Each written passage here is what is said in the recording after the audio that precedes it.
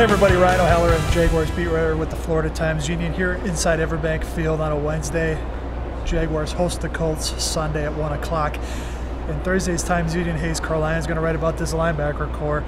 They got some issues. They're twofold. One, they couldn't tackle very well against Tennessee last week, but the bigger issue is injuries. Paul Posluszny, broken right hand, unlikely to play, I think, on Sunday. He's your quarterback on defense. He gives everybody the play call. That's now going to be Jordan Tripp. Who you may ask, a lot of people were asking that question the other day. He hadn't played a lot of defense since signing with the team a couple months ago. He starts at middle linebacker. Thurston Armbrister at, strong side. He was benched at halftime Sunday. Now he gets another chance to start. And then Telvin Smith and his 122 tackles.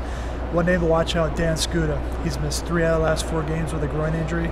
He said on Wednesday he intends to play. He went up to Minneapolis earlier this week to get treatment from the same doctor that Cecil Shorts, the former receiver, visited with a couple years ago. So get Skuta back, that'll bring some experience, some run stopping ability. So one thing to watch, if I'm the Colts offense, I attack these linebackers. I make sure that all three of them are on the field at all times, base personnel, and see if you can run right at them and get some things done in the run game.